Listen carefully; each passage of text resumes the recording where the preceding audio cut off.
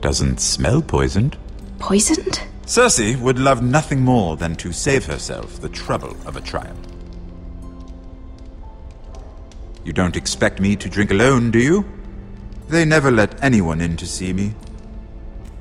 I suppose I'll have just a little. Ah, true girl of the North. Hmm. Some things are worth dying for.